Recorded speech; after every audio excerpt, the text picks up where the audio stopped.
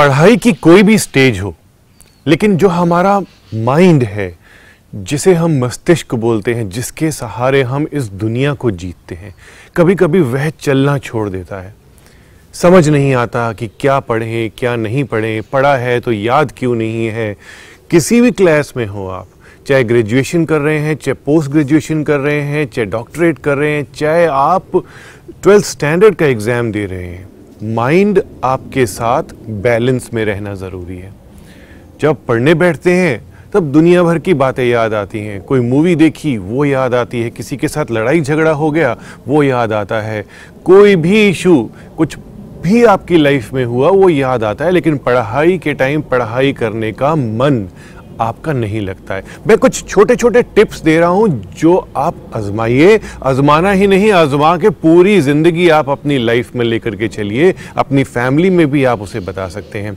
आपका room in case आपका room अगर नॉर्थ वेस्ट की डायरेक्शन में आता है, जिसमें आप बैठ के स्टडी करते हैं या ओवरऑल अपने कैरियर को आगे एक्सपैंड करते हैं। तो यह रूम आपकी स्टडीज़ के लिए, किसी भी लेवल की स्टडीज़ के लिए बिल्कुल भी अच्छा नहीं है।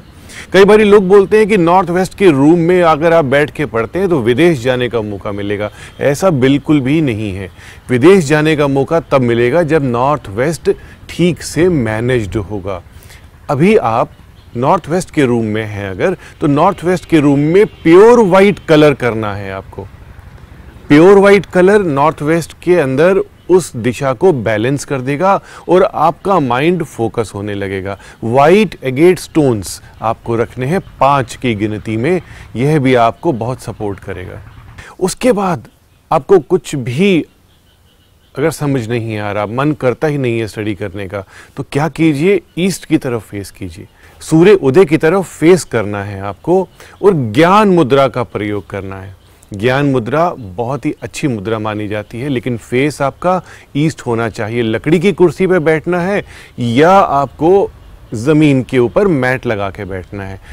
दस मिनट, पंद्रह मिनट अगर आप ज्ञान मुद्रा में बैठेंगे तो आपका माइंड सेटल हो जाएगा। ऐसे सेटल होगा जो बिल्कुल कोई भी वेव्स नहीं होंगी। और उस सोच में, उस अवस्था में आप बहुत ही अच्छा मन और माइंड फोकस कर सकते हैं। ज्ञान मुद्रा हमारी इस तरीके से लगाई जाती है। इंडेक्स फिंगर और थम फिंगर को ज्वाइन करें और दोनों हाथों को अपनी थाइस के ऊपर रिलैक्स कर सकते हैं। अगर आप सिटिंग पोस्चर में हैं, चेयर पे बैठे हैं, अदरवाइज़ घुटनों के ऊपर रख सकते हैं। तो इस मुद्रा में आपको बैठना है। अगर माइंड मूव करे उसे करने दीजिए, लेकिन धीरे धीरे धीरे धीरे आपका माइंड सेटल हो जाएगा। बॉडी अगर मूव करती है एडजस्ट नहीं करती बैठने के लिए, तब भी आप इसे अलाउ करें मूव करें।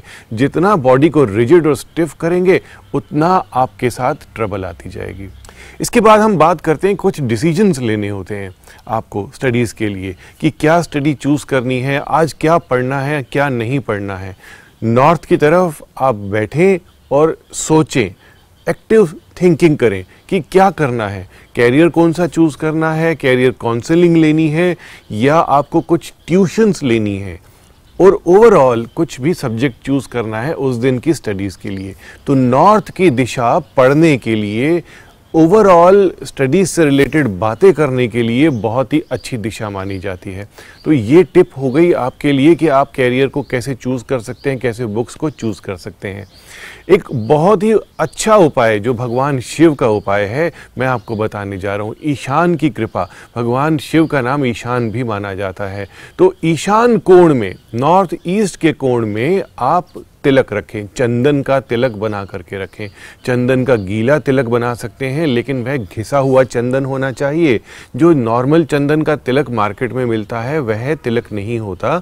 चंदन को घिस करके आप एटलीस्ट 48 आवर्स तक नॉर्थ ईस्ट में रखें। तांबे में रखें, ज़्यादा अच्छा है। इसे आप रिंग फिंगर से लेकर के अपने ब्रोज के बीच में तिलक लगाएँ। करते ही आपका माइंड सेटल होने लगेगा और बहुत ही फास्ट चलने लगेगा जितनी भी क्रैप चीज़ें हैं, यानी कि जो छोटी मोटी चीज़ें आपको परेशान करती हैं, वह हट जाएँगी और आपकी लाइफ बहुत ही स्मूथ चलेगी स्टडीज़ को लेकर के और ओवरऑल कैरियर डेवलपमेंट भी होगी Subscribe now for interesting and knowledgeable videos by Dr. Puneet Chawla